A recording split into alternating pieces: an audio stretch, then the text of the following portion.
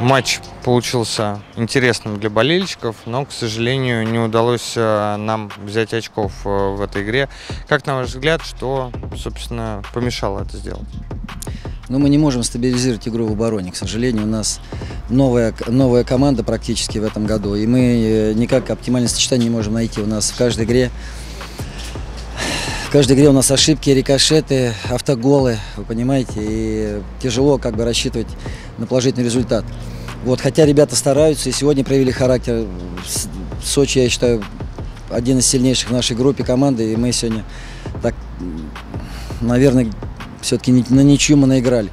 Вот, ну, в очередной раз, я честно скажу, не люблю, но скажу, что судейские какие-то решения очень непонятные. Очень непонятные, и, хочется посмотреть повторы. К сожалению, вар у нас нет, но удаления вот эти вот непонятные, когда человек играет. Потом вместо, угловы, вместо э, нашего мяча угловые, сейчас вратарь мяч ловит, он где-то видел угловой. Я, у меня нет объяснения этим решениям.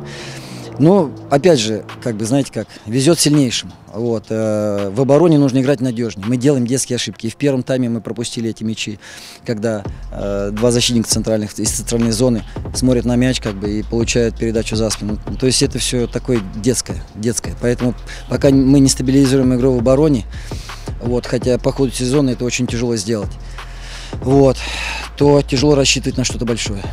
Как показалось, э, игры, которые уже прошедшие с «Зенитом» и с «Локомотивом», ну, в частности, как показалось, именно мы проиграли, точнее, не соперник выиграл, а мы их проиграли. Ну и сегодня то же самое. Сегодня то же самое. Я же я ж говорю, мы, у нас с «Зенитом» мы пропускаем после двух рикошетов.